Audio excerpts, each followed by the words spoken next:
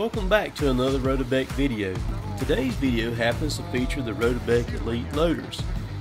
In this series of these loaders here, you have an Elite 910 that has a capacity of 8,770 pounds lift, or you have the option of a Elite 915. It has a 10,960 pound lift.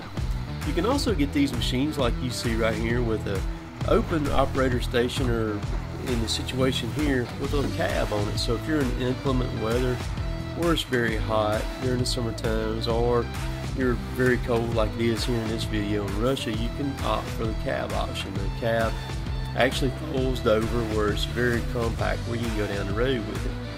These machines can be mounted on log trailers, they can be mounted on trucks, they can be mounted on an endless array of options to suit your needs, whatever you have. And then you can put a lot of different attachments on these things. These things are used a lot in municipalities picking up uh, debris, brush, stuff like that, garbage pickup, like this situation here. Uh, logging applications, very, very handy for that. Truck driver has his own loader, can load himself, can unload himself at the mill when he gets there. Same way with other things. You can even you can handle all sorts of different things with these machines right here. Extremely strong, extremely powerful, and backed by best-in-class company, Rotobec.